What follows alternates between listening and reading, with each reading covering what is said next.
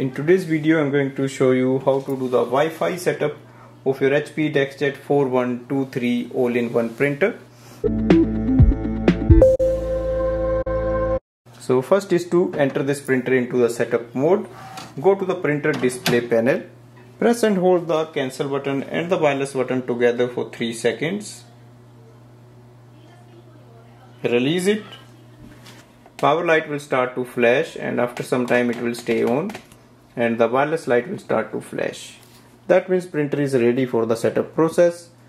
Now go to your device like iphone android phone or your laptop or computer and open the hp smart app.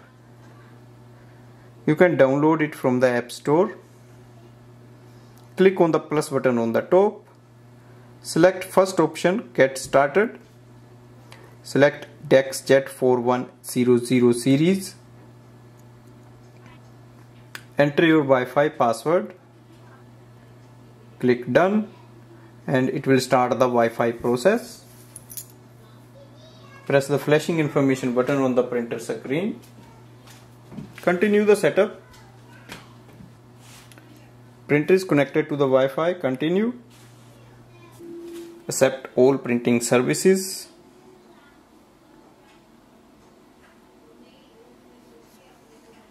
Now if you want you can activate the HP plus or you can just decline it.